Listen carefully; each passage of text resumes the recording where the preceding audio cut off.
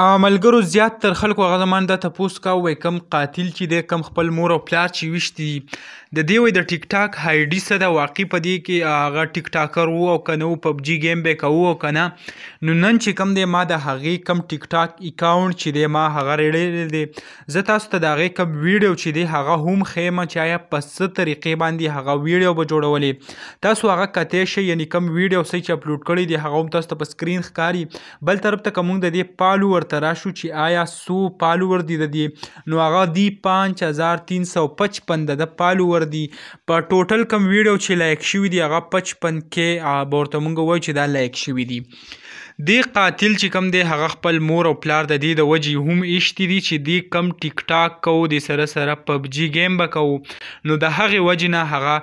چې پلار ورته ویل چې یا داسې حرکتونه مه کوه دا چې دی هغه په غوسه کې راغی خپل مور او پلار باندې هغه ډزې وکړې او خپل مور او پلار یې ویشته دا وخت چې کوم دی د دې پلار هغه وفات شوی دی مور چې کوم ده هغه د تیمرګري هسپتال کې هغه داخل ده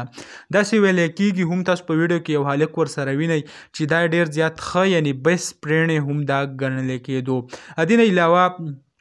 لاندی راځو نور کم ویډیو هم تاسو سره شریک کو ځکه په سوشل میډیا یو خبره هم روانه ده په هغه کې ورته دا خلک وای چې د دې پلار به ویل چې دا د غلطو خلکو سره ګرځي د دې سره چې کم هلکان ګرځي هغه هم تاسو په سکرین کته شي صرف د دې یو هلک ویډیو ورسره هغه بار بار جوړ کړی شوی دی یعنی دا سی بل ویډیو ورسره هغه نه د اپلوډ کړی شوی یعنی دا خلک هم پکې بیا لګه خوګه ترخه پکې غدا هم شروع کړئ نو دغه کم د ټیک ټاک اکاونټ چې دی بل طرف ته تاسو د پبجي کم ویډیو چې دی هغه هم کتې شي یعنی د پبجي ویډیو زې پکې هم ډېری زیات هغه پرتی دي ټیک ټاک اکاونټ چې کم دی هغه هم ډېر زیات نوې دی یعنی تقریبا سلور پنځه میاشتې د دې هغه کړې شوې دي چې دا جوړ کړې شوې دی نو دغه د کم